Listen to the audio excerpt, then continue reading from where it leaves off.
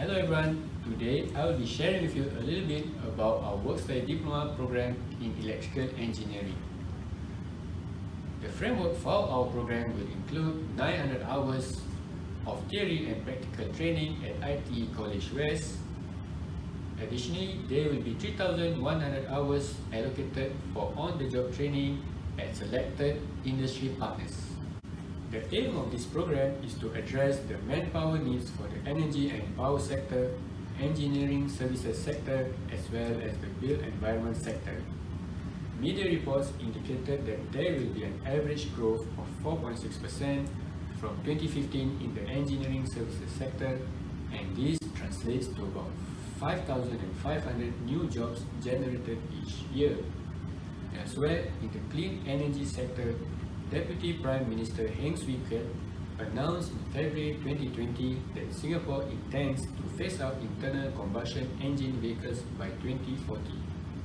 Singapore will expand the electronic vehicles infrastructure and significantly increase the charging station from 1,600 now to 20,000 in 2030. Hence, broadly speaking, there will be burgeoning demand for technician roles in 2020 and beyond. Our program, because of its vocational nature, is endorsed by the Energy Market Authority in Singapore. So this means that you can apply to be a licensed electrical technician, which is the grade A under the EMA scheme. The job role of an assistant engineer or technical officer includes managing electrical circuits, designing or performing electrical installations, and managing electrical motors and control systems. In addition, you might be given additional tasks such as ad hoc projects, administrative work, as well as procurement activities. The desired attributes for our trainees include the following. Safety first mindset, analytical mind to perform investigative work, good interpersonal skills to work with all staffs from different levels as well as the willingness to work extra hours when required. The work environment expected in our industry includes non-aircon environment, donning of personal protective equipment for long hours, as well as working at height sometimes. The career prospect after completion of our program includes taking on the role of an assistant engineer after which the engineer role served and soon the prospect of being a manager in a department or a company. In total, there will be 12 core modules for work study diploma in electrical engineering.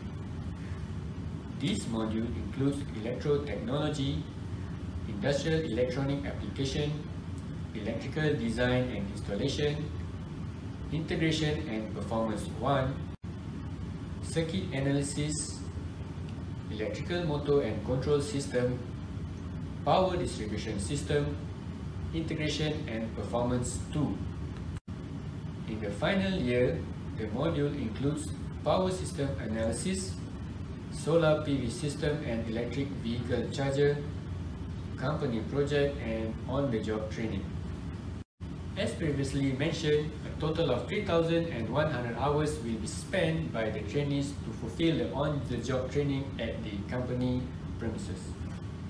Some of the skills during the OJT include install electrical circuits, troubleshoot electrical faults, produce electrical drawings, maintain electrical installations, inspecting electrical quantities, install and maintain motor control system, manage power quality, as well as install and maintain electric vehicle charger. This is an example of a training pattern for our program. For example, Saturday and Sundays are your off days and the rest of the days will be spent in ITE College West as well as your workplace. We hope to see you on board the Work Study Diploma in Electrical Engineering. Thank you.